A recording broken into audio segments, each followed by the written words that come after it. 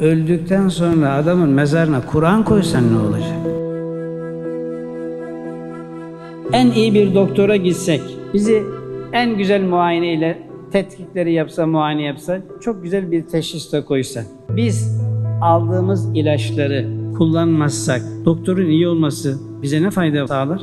Çok kaliteli ilaçlar bize verdiler. Bu ilaçları biz kullanmazsak, ilaçların kaliteli olması bizim ne işimize yarar? Başka bir şey söyleyeyim size. Adam rahatsız, iyi bir doktora gitti. Doktor da tetkiklerini yaptı. Güzel güzel ilaçlar da verdi. Biz ilaçları hastanın yanına koyduk ama hasta bunları içmiyor. Hasta öldükten sonra dedi ki biz bunları mezarına koyalım. Ne anlam ifade eder? Ne anlam ifade eder? Sizce hiçbir anlam ifade eder? Hiçbir anlam ifade etmez. Etmez.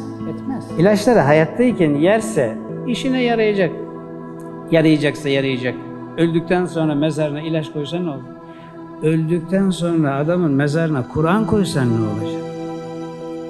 Geçen de bir kardeşimiz telefonla sordu. Dedi ki hocam bir cenazemiz var dedi. Cenazemizin dedi kefenin içerisinde falanca sureyi yazarak koymamızı tavsiye eder misin?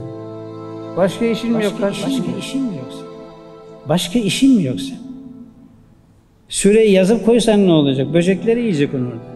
Öldükten sonra oradaki adamın ne ilaca ihtiyacı var ne de yanına koyabileceğim bir kitaba ihtiyacı var.